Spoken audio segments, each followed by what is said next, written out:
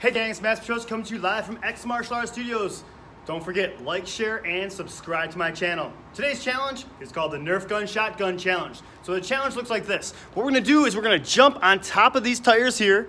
We're gonna jump off the tire. We're gonna dive roll out, get to our Nerf gun, okay? And then we're gonna try to hit the top noodle there, and then the lime green noodle on the bottom there also.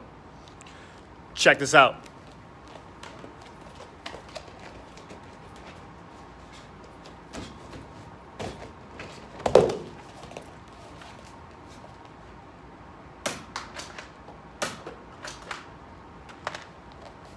That was a total fail.